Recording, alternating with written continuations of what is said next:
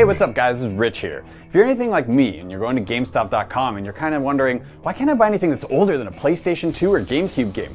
And it sounds like GameStop is actually going to be listening to you guys. In an interview with The Verge, GameStop CEO Paul Raines said that his company is looking to get into that vintage game business. Apparently, the company actually has a lot of these games and has been building its inventory over its 25 year history. Seeing all the activity on eBay and all these used game collections selling for big bucks, you know, GameStop wants in on that. They've acknowledged some problems. It's like, where do you get a reliable uh, source of all these old games? How do you assess their condition?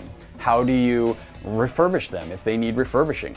So all those big questions yet to be answered. If you're anything like me, when you're in some of those independent game shops or maybe you're overseas in Japan and you're seeing all these games you had when you were a kid and you're like, I have to own all of these. I can't play them, but I need all of them. Well, now you can buy them at GameStop, potentially in the near future. Bigger implications. GameStop's a huge global entity, you know, they're everywhere, literally. What does that mean for some of these smaller game shops? What do they do about this? You know, that uh, they make a lot of their living off of these NES, SNES games that you can't actually find at GameStop. So what does that mean for them?